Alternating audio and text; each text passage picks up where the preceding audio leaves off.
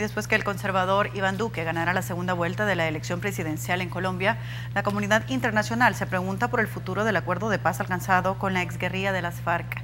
Durante su primera comparecencia, el presidente electo afirmó que no hará pedazos el pacto, pero señaló que sí cambiará algunos puntos. Con la victoria de Duque, Colombia empieza una etapa nueva un año y medio después de la firma del acuerdo de paz con la exguerrilla de las FARC, que mantiene dividido al país y que el presidente electo piensa revisar. El derechista se enfrenta al reto de mejorar la economía, contener la violencia que golpea aún zonas rurales y acabar con la polarización de la sociedad. Con humildad y con honor, quiero decirle al pueblo colombiano que voy a entregar todas, absolutamente todas mis energías por unir a nuestro país. No más divisiones, pensemos en un país con todos y para todos.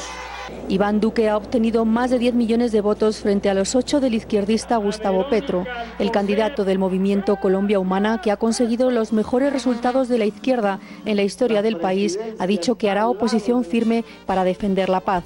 No le vamos a pedir ministerios, ni embajadas, ni nada. Hoy somos la oposición a ese gobierno que él va a conformar. El nuevo presidente, que estará en el poder hasta 2022, tomará posesión de su cargo el próximo 7 de agosto.